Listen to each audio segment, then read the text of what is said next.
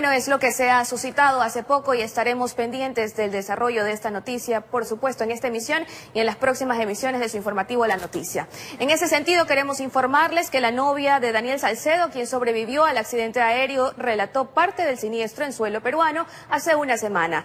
Jocelyn Mieles comparecerá este viernes a la audiencia de formulación de cargos por el supuesto delito de fraude procesal y tenemos un informe. Veamos.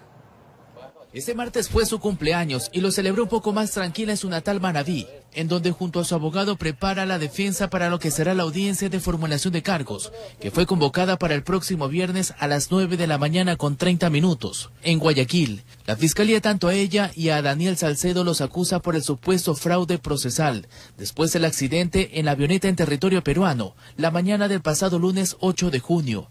Yo sabía que íbamos a la playa porque me mostró una imagen de que íbamos a la playa, pero desconocía el destino. Su abogado indica que el delito de fraude procesal es un error para la fiscalía y lo expondrá en la respectiva audiencia. Él además manifiesta que su cliente desconocía lo que estaba pasando, que solo fue invitada. Ella tiene el amparo constitucional, no estaba obligada a decir dónde estaba su pareja o a dónde iba a ir con su pareja o de dónde venía su pareja, porque tiene la protección, la tutela constitucional. Vamos a comparecer cuantas veces sea necesario ante las autoridades competentes. La señorita Mieles relató cómo fue parte del aterrizaje cerca de la frontera con Ecuador, impacto del que se salvó de morir junto a su novio Daniel Salcedo y otras personas más. Iban dos pilotos y uno de ellos lamentablemente falleció no sé si íbamos a aterrizar porque el desperfecto fue en el aire, arriba. Primero la avioneta se viró y como que quisieron retomar el control, pero eso ya se fue de picada. Igual creo que trataron de tratan de planearla porque igual caímos. Hubiese sido viral, ya no estaría para contarlo y sobre las acusaciones que le realizan a su novio de ser implicado en supuestos casos de sobreprecios en hospitales del IES. Prefirió solo hablar de la forma como lo ayudaron en aquel momento. Y lo que queríamos era salvar a Daniel y nos fuimos en un mototaxi y llegamos a la primera casa de salud. Y como esa casa de salud no tenía nada, es que nos trasladan a un hospital. Sufrió una fractura en una de sus clavículas por lo que fue intervenida en el hospital Guayaquil. Ella además cree que existe una campaña para desprestigiar su nombre. ¿Cuál ha sido mi mayor pecado? Enamorarme. A mí me dirigen al hospital porque yo tenía que hacerme atender lo de la clavícula. Me operé, desperté de la anestesia, o sea, hasta el día siguiente que me entero que yo vivía en otra realidad. ¿Qué parte de eso se ha llevado al protagonismo de ese abogado? En cuanto a la solicitud de habeas corpus presentada por la abogada de Salcedo, esa fue convocada para este miércoles 17 de junio a las 9 horas. La diligencia se realizará de forma virtual, informó Charlie Pisa. 12 personas fueron detenidas durante allanamientos ejecutados en Guayaquil y Durán. La Fiscalía actuó en base a denuncias sobre supuestas irregularidades en la adjudicación de contratos en el Hospital Básico del IES en el Cantón Durán. la puerta, por favor. Desde las 4 de la madrugada, 90 agentes de la Policía Nacional respaldaron el accionar de los fiscales que procedieron a incursionar en 17 inmuebles en busca de indicios que entreguen pruebas de responsabilidad en contra de quienes fueron aprehendidos durante ese amanecer. De los 17 domicilios hay 12 ciudadanos detenidos por el cual participaron 12 compañeros fiscales, un gran equipo de trabajo de la Policía Nacional. En Guayaquil, los investigadores llegaron hasta una oficina situada en el piso 32 de este edificio. Desde su interior decomisaron 96 cajas de cartón que contenían varias unidades de pruebas del COVID-19. Provincial de aquí del Guayas, como indicios, se tienen 96 cajas de cartón con, con 9.420 pruebas de COVID, un arma de fuego, 10 terminales móviles, 10 computadoras y cerca de 3 mil dólares. Las investigaciones giran en torno a presuntas irregularidades en procesos de contratación para el Hospital Básico del Instituto Ecuatoriano de Seguridad Social en el Cantón Durán. Contratos que se entregaron a familiares y amigos relacionados al directorio. Esos contratos adjudicados van en perjuicio del Estado ecuatoriano. Estos delitos son investigados por la Fuerza de Tarea Multidisciplinaria de la Fiscalía General del Estado. creada el pasado 1 de junio con finalidad de procesar estas denuncias de corrupción generadas en el marco de la emergencia sanitaria a nivel nacional. Varios tipos penales, peculado, enriquecimiento privado no justificado, enriquecimiento ilícito, testaferrismo, sí, entre otros casos, sí, que fluctúan entre los 200 mil, 400 mil dólares y 3 millones de dólares. Son varios contratos que están en conocimiento porque son diferentes eh, investigaciones. Informó José Morales. Y el alcalde de Quito, Jorge Yunda, acudió a la Fiscalía General del Estado para rendir su versión sobre la investigación de presuntas irregularidades en la adquisición de pruebas PCR para COVID-19 que realizó la Secretaría, la Secretaría Metropolitana de Salud. Decenas de simpatizantes se aglomeraron para expresarle su apoyo. A las 11 de la mañana llegó el alcalde de Quito, Jorge Yunda, a la Fiscalía General. Cientos de simpatizantes de las ligas barriales, comerciantes de mercados y dirigentes deportivos le recibieron en medio de aplausos sin cumplir con el distanciamiento social.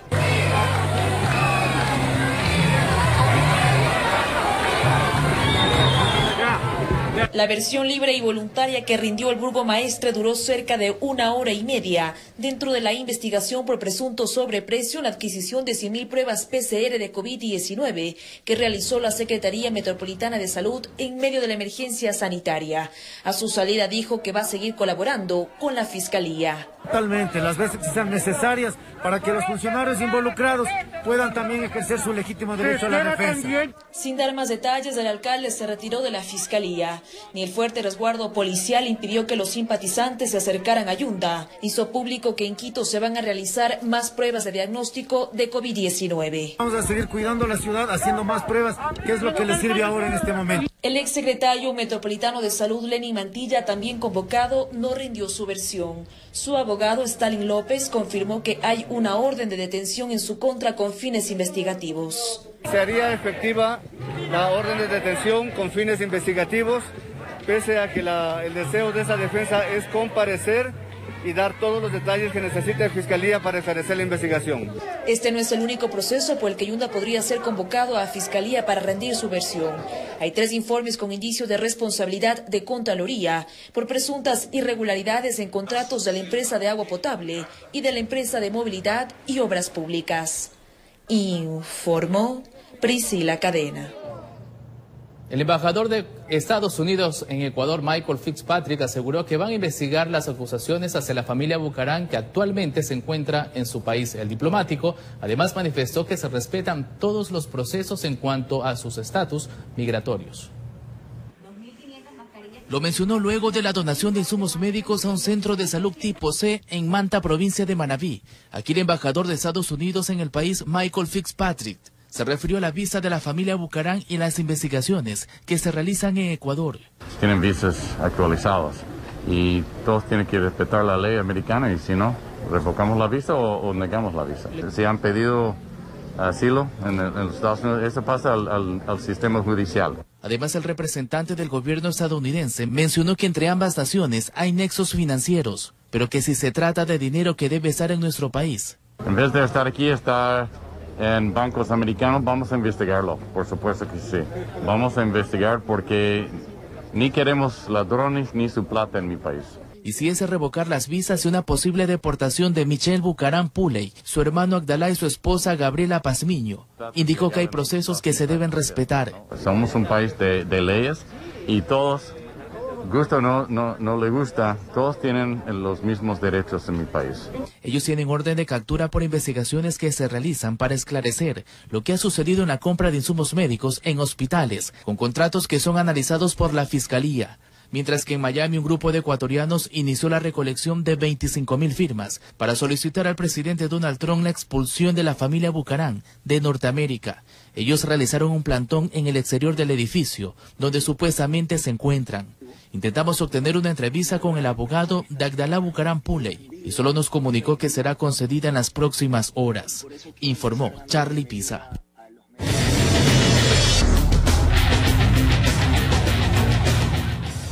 Y ahora cambiamos completamente de tema para contarles que un hombre intentó lanzarse del puente de la Unidad Nacional. Un policía intervino a tiempo y evitó que el ciudadano acabara con su vida.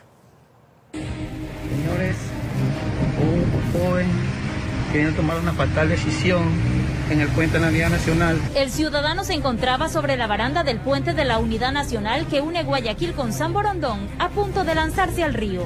Está la policía ayudándolo para que no se tire al río Guaya. Mírenlo, está tomando una decisión equivocada. Esto se puede saber ahorita en estos momentos. En el puente de la Unidad Nacional. En videos compartidos por redes sociales se observó la presencia de policías que trataban de persuadirlo para que no atente contra su vida. Uno de los uniformados aprovechó el descuido del hombre y en el instante oportuno logró rescatarlo, bajándolo a la acera e inmediatamente sus compañeros actuaron para inmovilizarlo y ponerlo a buen recaudo. Uy, Dios mío, ya lo cogieron, ya lo cogieron. Ay, gracias a Dios. Según se conoció, el ciudadano completamente nervioso y temblando indicaba que tenía problemas económicos, que la vida ya no le importaba y llevaba consigo un papel que dice textualmente. Soy un joven con discapacidad. Tengo mi hijo y mi esposa que tiene discapacidad. No tengo empleo y por tal razón pido a mi gobierno me ayude con un empleo.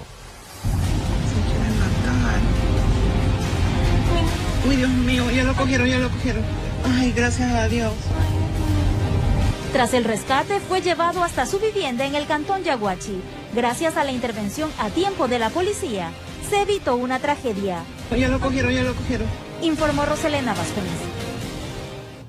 Media tonelada de droga y dos personas detenidas fue el resultado de una operación ejecutada por agentes de la Armada Nacional. La captura se produjo en un lugar cercano a la playa de La Cabulla, en la provincia de Manabí.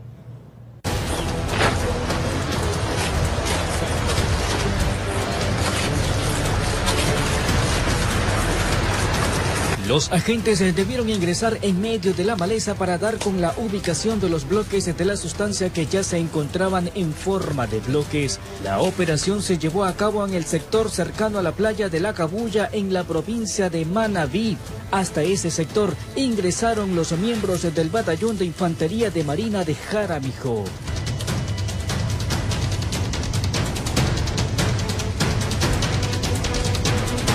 Dos personas se encontraban en el sitio, mostraron armas de fuego ante la presencia de los eh, uniformados, pero fueron neutralizados mediante el uso progresivo de la fuerza. Se determinó que uno de los implicados es de nacionalidad eh, colombiana y el segundo es ecuatoriano. Tras conocer el contenido de los bloques, se logró determinar que se trataba de una sustancia sujeta a fiscalización por un peso equivalente a media tonelada. En el sitio se encontraban también lanchas y motores fuera de borda, con lo cual se presume que ingresaban en alta mar para contaminar las embarcaciones más grandes con la sustancia prohibida, informó José Morales. La Policía Judicial desarticuló una organización dedicada al delito de tenencia y porte de armas de fuego durante el operativo Victoria 428, ejecutado en Puerto Viejo, provincia de Manabí. El accionar policial empezó cuando se reportó un enfrentamiento a bala entre bandas delictivas. Cuando la policía llegó, los pistoleros corrieron por todo lado. Minutos antes, el barrio Virgen de Fátima del cantón Puerto Viejo fue escenario de un cruce de fuego donde las balas iban y venían. El enfrentamiento respondería a una rencilla entre bandas delictivas por disputa de poder y territorio. Quienes se dedican al asalto y robo a mano armada a personas, a locales comerciales, y hasta domicilios. Los refuerzos llegaron y con los indicios recabados en el lugar se inició un intenso operativo para localizar a los autores del enfrentamiento con armas de fuego que dejó dos personas heridas, quienes fueron trasladadas hasta el hospital de la localidad con pronóstico reservado. Tienen equipos de avanzada, analizan el momento que la policía está ocupada con algún otro procedimiento para ellos ir y golpear donde no haya presencia policial. El operativo por tierra y aire dejó tres detenidos y el decomiso de tres armas de fuego, una pistola y dos armas largas, así como munición. Este grupo de personas, liderada por este señor alias Rato, son las personas que andan, que causan tanta zozobra aquí en la provincia de Manabí, específicamente en el cantón de Puerto Viejo. En la misma zona fueron detenidos otros dos sujetos por tenencia ilegal de arma de fuego con seis municiones. Los amigos tenían además aperturado un proceso judicial por robo y porte de arma, respectivamente. El distrito, eh, cumpliendo con eh, las disposiciones del escalón superior, viene realizando constantes e insistentes operativos para el bienestar de la ciudadanía. Informó Iván Casamen. Y mucha atención, ya existe un sospechoso en el caso de la pequeña de 8 años quien fue hallada muerta y presuntamente violada en el cantón Alausí, en la provincia de Chimborazo. Los padres y familiares de la menor exigen justicia. Aún está latente el intenso dolor de la madre de Emily, la niña de 8 años quien fue asesinada por estrangulamiento el pasado 10 de junio en la parroquia Huigra, Cantón Alausí. Se presume existe ya un sospechoso del cruento hecho de sangre. Ese hombre dice que ha estado más abajo donde vivimos nosotros, pero no, no hemos conocido. Día y hora para que esta persona que eh, se señaló para el día de hoy con para que rinda su versión como sospechoso, pues lo haga eh, en la fiscalía de acá del Cantón Alausí. En las afueras del edificio judicial, familiares, especialmente los abuelitos de Emily, piden que este hecho no quede impune. Que se haga justicia, que no quede en vano la muerte de mi sobrina. El abuelito paterno cuidaba de la hermanita de Emily. Aún no entienden por qué hicieron eso con su pequeña niña. Siempre aquí para uno es muy tristeza. Somos muy... Eh, sentimos muy eh, debilidad. El abogado quien lleva la defensa de los padres de Emily pide una prolija investigación para el sospechoso. Como sabemos, pues tiene que hacerse justicia. Estamos hablando de un delito de asesinato enmarcado en el artículo 140 del Código Orgánico Integral Penal. No recibieron la versión del supuesto sospechoso. Los abogados tampoco declararon a la prensa. Mientras tanto, la familia sigue buscando respuestas y justicia. En Chimborazo informó Darwin Altamirano. 22 horas con 19 minutos y vamos a una breve pausa comercial, pero quédese con nosotros que tenemos más información para ustedes. De inmediato regresamos.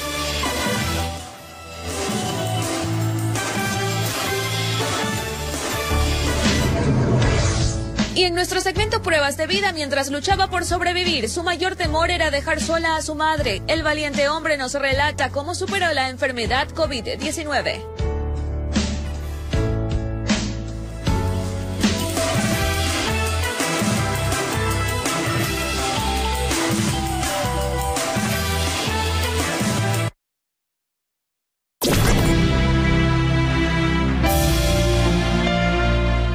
Yo siempre tuve problemas con mi desodorante. Lo llevaba a todos lados para sentirme seguro. Si has pasado por esto, Gillette Clear Gel es para ti.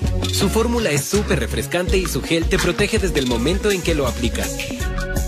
Además, Versus Spray rinde casi dos veces más y es completamente invisible.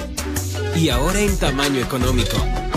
Este papel representa la superficie de la piel. Ahora, mira lo que puede hacer el jabón común. El jabón común puede resecar tu piel. Dove es diferente. Con un cuarto de crema humectante ayuda a remover las bacterias sin resecar tu piel. Cuidémonos. Por ti, por todos. Estás viendo la noticia. No dejaré de contemplar la madrugada. No habrá más llanto. ¡Cuidado! ¿Crees en los milagros? Vas a salir adelante. Dios mío, ¿qué es esto? La fe Ayúdame, Virgencita. puede cambiar vidas. Logré salir de las drogas y soy una sobreviviente. La Rosa de Guadalupe, lunes a viernes, 13 y 19 horas, sábados y domingos, 21 horas, por RTS.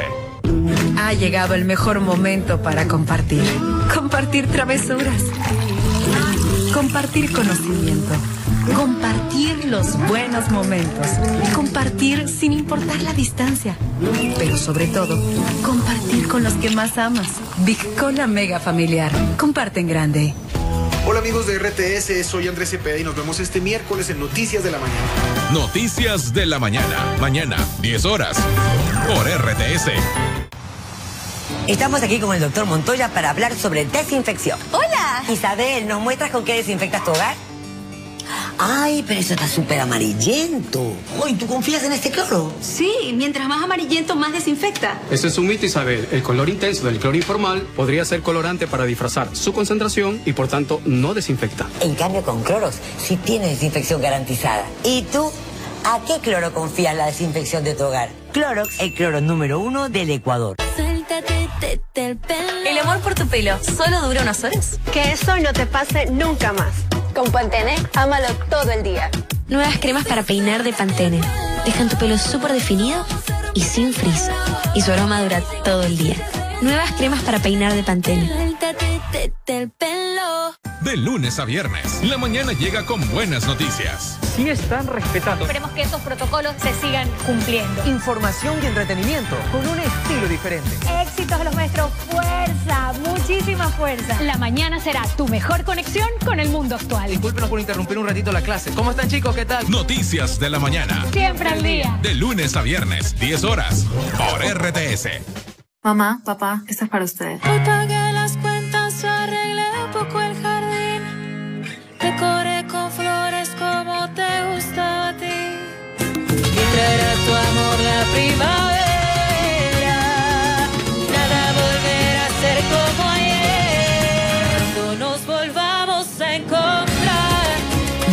Lejos y seguimos conectados. Llévate un Huawei G8S con el 40% de descuento y de regalo un parlante. ¡Feliz día, papá! Movistar. Tareas para hoy. Primero levantemos el ánimo. Grita muy fuerte. Buenos días y sonríe. Prepara tu comida favorita. Aprovecha que se puede. Llama a mamá y dile cuánto la quieres. Y sobre todo aplaudamos mucho, mucho, mucho. Porque ahora más que nunca estamos contigo. Y verte bien es lo que nos empuja a seguir trabajando. De nuestra familia a la tuya. Bimbo contigo.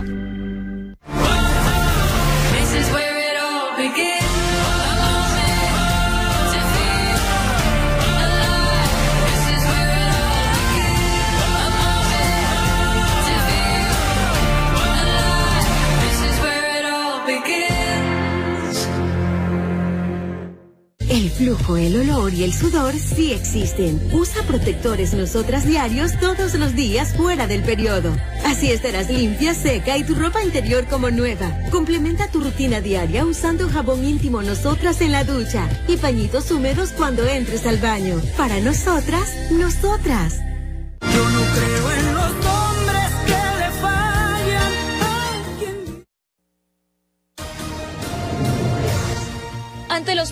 25 mil reclamos por cobros excesivos, la Corporación Nacional de Electricidad se comprometió a revisar todas las planillas que emitió en este mes. Además, no se realizarán cortes de energía.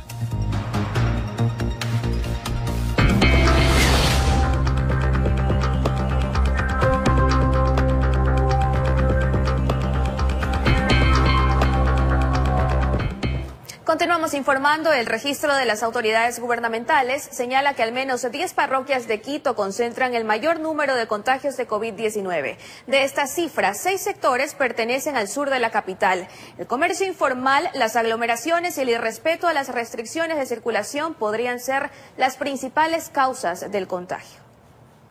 Transcurrida una semana de vigencia del semáforo amarillo en la capital, el ministro de Salud emitió un mensaje alentador para la comunidad. Creo que hemos eh, logrado controlar una de las, de las epidemias más severas que han existido en la humanidad. Criterio totalmente opuesto al del alcalde Jorge Yunda, quien a través de su cuenta de Twitter señaló que la capacidad de la red pública de salud está al tope. Según datos oficiales, en Quito, al menos 10 parroquias registran el mayor número de casos de coronavirus. De este número, seis sectores pertenecen al sur de la urbe. Durante las últimas semanas hemos visto un sinnúmero de imágenes que evidencian un notorio incumplimiento a las normas del semáforo amarillo. Muchos ciudadanos coinciden que el comercio informal se multiplica conforme pasan los días. Juan tiene apenas 38 años, laboraba como guardia de seguridad y perdió su empleo. Ahora oferta en Ceres con su pequeño hijo como compañero. El único modo que encontró para trabajar y cuidar de su pequeño. Tengo que salir a trabajar.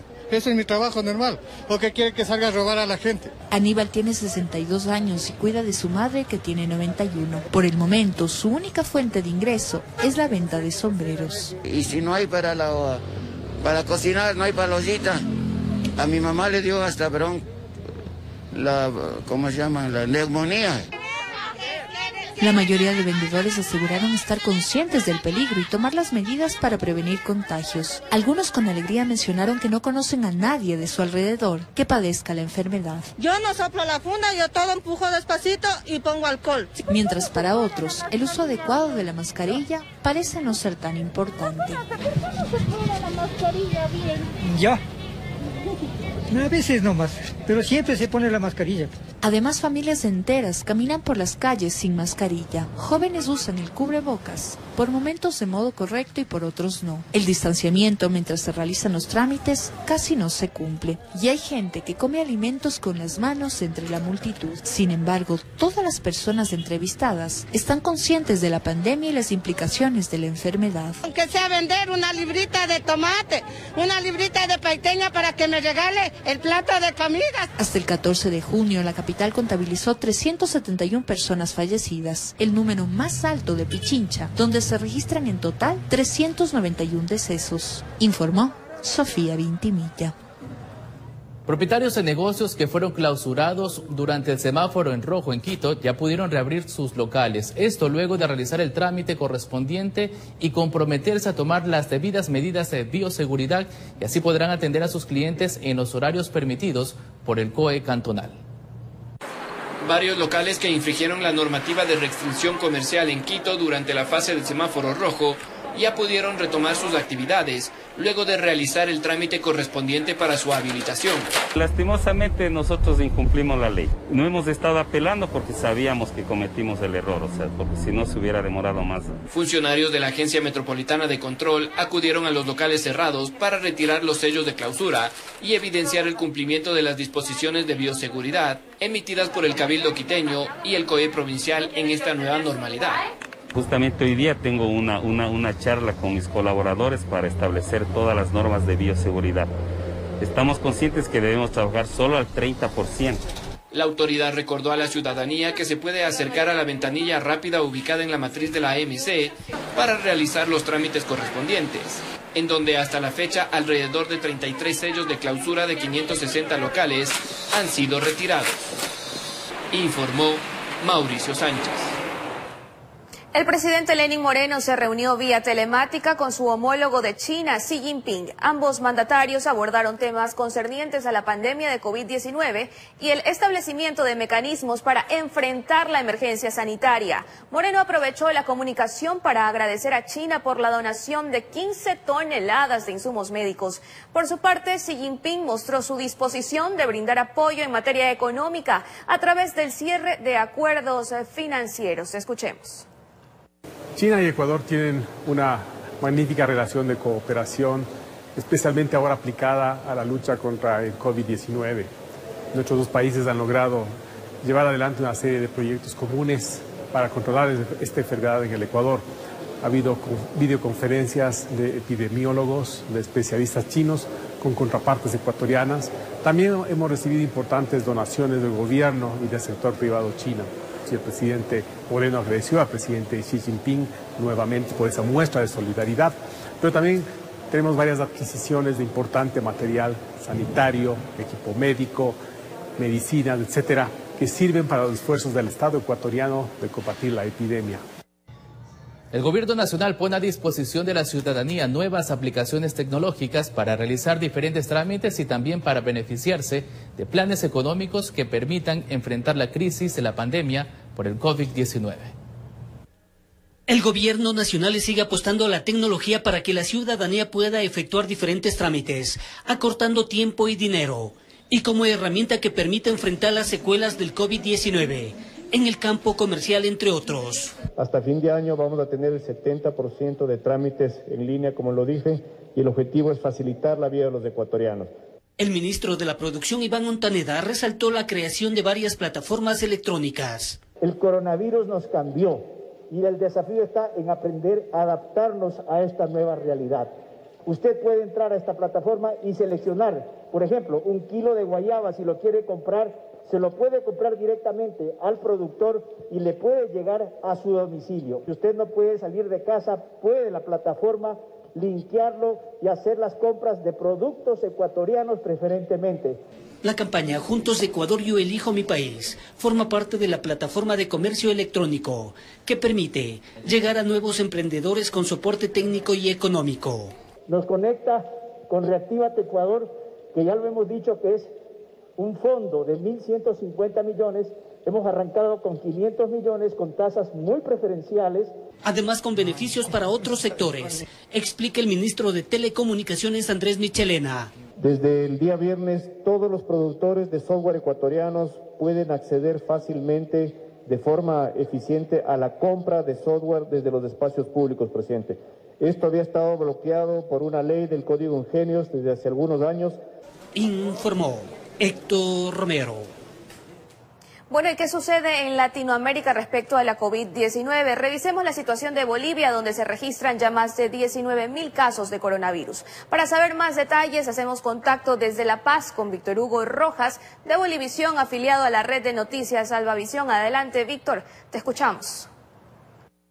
Bien, ¿cómo están amigos de RTS? Adrián allá en el estudio y también para toda la teleaudiencia. Es importante informar lo que está ocurriendo acá en La Paz, sede de gobierno aquí en Bolivia, y es que en las últimas horas se ha confirmado que el Instituto Gastroenterológico Japonés eh, Boliviano ha tenido pues eh, dos casos positivos, dos galenos, los cuales han estado, están infectados del COVID-19 y esta situación ha sido informada por parte del director de este Instituto Gastroenterológico, luego de que se habría trabajado, se habría tratado a una paciente que llegó eh, pues de manera asintomática, no se la logró detectar en primera instancia y esta persona, esta paciente habría tenido contacto no solamente con galenos, sino con trabajadores en salud, vale decir enfermeras, camilleros y demás. Pero la situación ha despertado y apuntado principalmente en dos galenos, los cuales han dado también a COVID-19 positivos al coronavirus en las últimas horas. Por estas situaciones que nosotros tenemos un reporte que hemos trabajado precisamente con las autoridades de este nosocomio. El Instituto de Gastroenterología Boliviano-Japonés desde el día sábado cerró sus puertas luego de que dos médicos dieron positivo a coronavirus. Lamentablemente me acaban de confirmar que dos médicos, uno de terapia intensiva y otro de gastroenterología, están infectados. El contagio se habría dado por parte de una paciente, quien ya fue derivada al Hospital del Norte. Sin embargo, otros profesionales en salud ingresaron en cuarentena a la espera de realizarse las muestras respectivas. 20 personas, entre médicos y enfermeros, están en cuarentena. No están viniendo a trabajar, están en cuarentena domiciliaria hasta que eh, tengamos la prueba. El estado de salud de los médicos que dieron positivo es estable, por lo que se encuentran en aislamiento en sus domicilios. Ante la suspensión de la atención en el hospital, se ha previsto atender solamente casos graves y otros pacientes serán derivados a otros nosocomios. O al hospital de clínicas o a hospitales municipales de segundo nivel. Entre tanto, se prevé que en dos semanas se reanude la atención en ese hospital. Bien, es la situación como la habíamos adelantado y es que se tienen adicionalmente, hay que apuntarlo, otras 12 personas, 12 trabajadores en salud, entre médicos y enfermeras, las cuales se encuentran en este momento aisladas. Se conoce que de estos 12 galenos, 12 trabajadores, al menos cuatro ya estarían presentando algunos síntomas, por lo que también mantenemos la expectativa entre estos eh, médicos, pues eh, se van a conocer los resultados seguramente más adelante.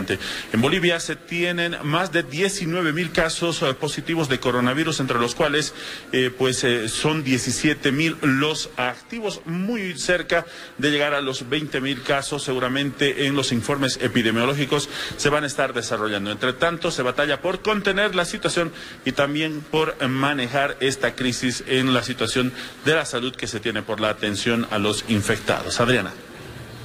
Así es, muchas gracias Víctor Hugo por ese completo informe y esperamos que la situación mejore en el país hermano. Charlie, tú tienes más noticias del ámbito internacional.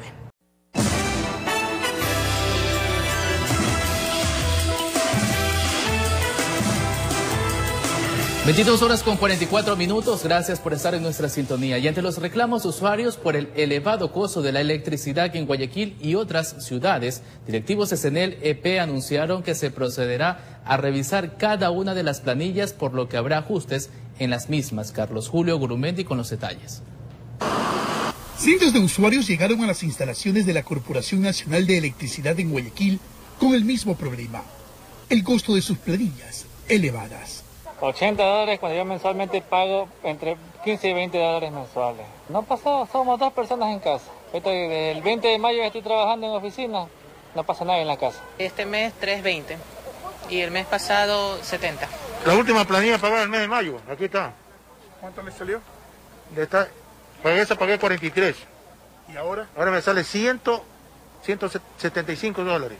Ante estos reclamos, el gerente general de CENEL EP, Diego Maldonado, sostuvo que se procederá a tomar acciones inmediatas, como la revisión automática y el ajuste de las últimas planillas emitidas. No estamos pidiendo un paga porque paga. ¿sí? En el caso de que existan valores en exceso que han sido facturados a cada uno de los usuarios, ténganlos por seguro que en la factura correspondiente al mes de julio vamos a hacer el diferimiento de las facturas que tengamos inconvenientes. Y aquí dio un ejemplo. Si usted tenía que pagar 80, pero resulta que pagó 100 por los estimados que nosotros hicimos, usted para la siguiente factura va a tener un crédito de 20 dólares. Durante el estado de emergencia, la empresa ha recibido a nivel nacional de 25 mil a 30 mil denuncias por exceso de cobro. El 50% corresponde a abonados del puerto principal. Quiere decir que de 720 mil usuarios que habitan en la ciudad de Guayaquil, al igual que el resto de clientes que tienen relación con CENEL EP, no deberán ir a las oficinas a formular sus reclamos.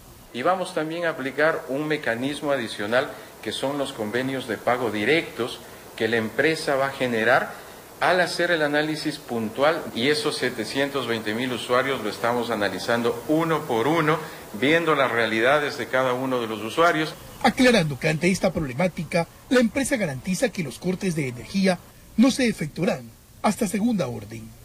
Informó Carlos Julio Gurumendi.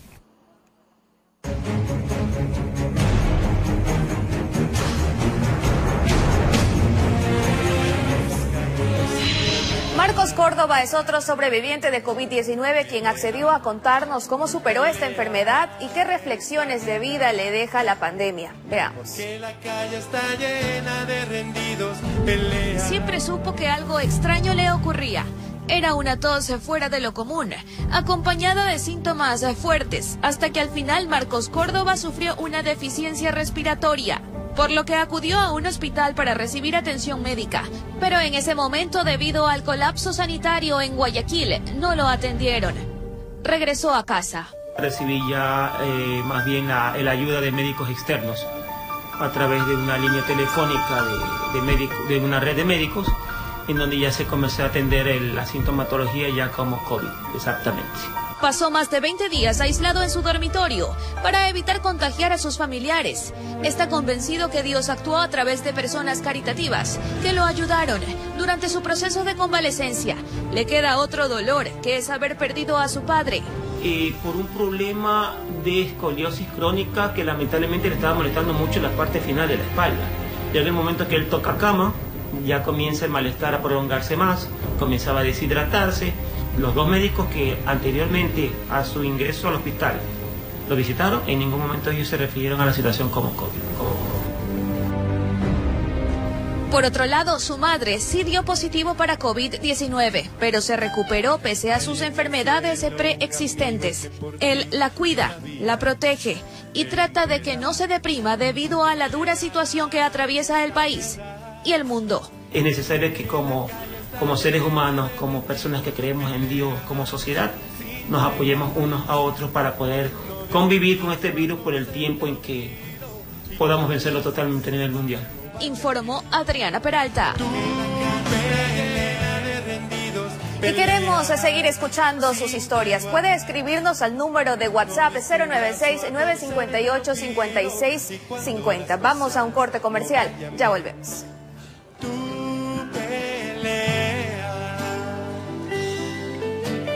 Cuando te digan que eres un caso perdido, ¿qué? Así es, muchas gracias. Así finalizamos la emisión estelar. En las próximas emisiones tendremos detalles sobre la retención de siete horas del ingeniero Alfredo Adún. Adriana. Hasta la próxima. Gracias por habernos acompañado.